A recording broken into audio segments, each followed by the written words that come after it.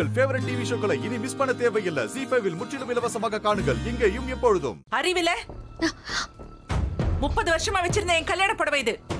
இத தூக்கி நெருப்புல போடுற? அத்தை இந்த புடவை எப்படி இங்க வந்துச்சுன்னு தெரியல அத்தை. நான் பார்த்து பார்த்து தான் எடுத்து வச்சேன். நான் கரெக்டா தானே எடுத்து வச்சேன். இது எப்படி இதுல வந்துச்சு?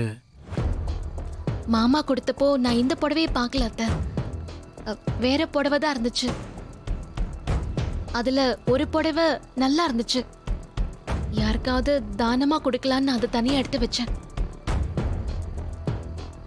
இது அதுக்குள்ள இருக்கும்னு தெரிஞ்சிருந்தா கண்டிப்பா நான் இதையும் எடுத்து வச்சிருப்பேன் அத்தை.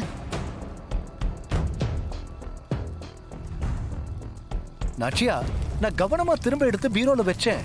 அப்புறம் எப்படிங்க இங்க வந்துச்சு? மாமா நல்லா யோசிச்சு பாருங்க. நீங்க தான் தவறுதலா எடுத்து பழைய துணியோட வச்சிட்டீங்க போல.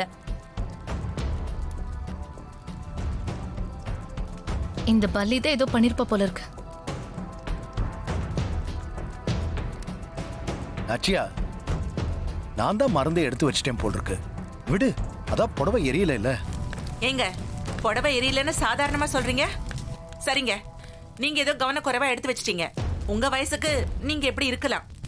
ஆனா எல்லாத்தையும் பார்த்து பார்த்து பண்றேன்னு சொல்லிட்டு பட்டு புடவை தூக்கி நெருப்புல போடுற அளவுக்கு ஒருத்தி இருப்பாளா? இவளை நம்பிதான் பொறுப்பை ஒப்படைக்க சொன்னீங்கல்ல? அத்தை நான் இப்பவும் சொல்றேன். மாமா கொடுத்தப்போ இந்த புடவை அதுல இல்ல. எனக்கு நல்ல ஞாபகம் இருக்கு. ஏய் அப்புறம் எப்படி இது இதுக்குள்ள வந்துச்சு? நீ தானே எல்லாத்தையும் வாங்கி வச்ச? நீ தானே எல்லாத்தையும் கொண்டு வந்து இங்க வச்ச? அப்புறம் எப்படி? புடவைக்கு கால் முளைச்சு அதுவே தானா இங்க வந்து உட்காந்துச்சா? அப்போ நான் வேணும்னு உங்க புடவையை நெருப்புல போட்டேன்னு சொல்றீங்களா அத்தை? அது உனக்கு தானே தெரியும்.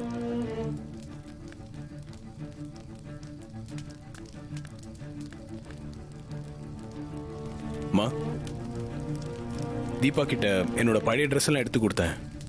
அதுல ஒரு ஷர்ட் அவங்க எடுத்து தனியாவே வச்சுட்டாங்க. அப்படி இருக்கும்போது வேணும்னு இப்படி பண்ணுவாங்களா? அப்படி யோசிச்சு பார்த்தாலும் அவங்க எதுக்குமா இதை பண்ணணும்? பொறுப்பு கொடுக்க யோசிச்சேன்னு சொல்லி என் மேல கோவம் இருக்கலாம்ல? அந்த கோவத்தை நேரடியாக காட்ட முடியுமா? இப்படி ஏதாவது பண்ணி திருப்தி ஆகிக்கலாம்னு கூட யோசிச்சிருக்கலாம்ல?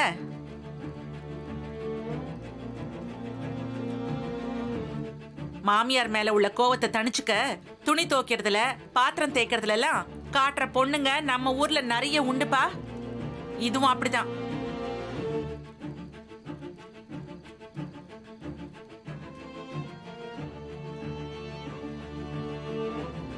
சூப்பரத்த. இதே ரூட்ல போய் அவளை வீட்டை விட்டு துரத்திட்டீங்கன்னா அதுதான் நிஜமான போகி பண்டிகை நமக்கு இருக்கும். சார் சத்தியமா தெரியல சார். நான் வேணும்னு பண்ணல.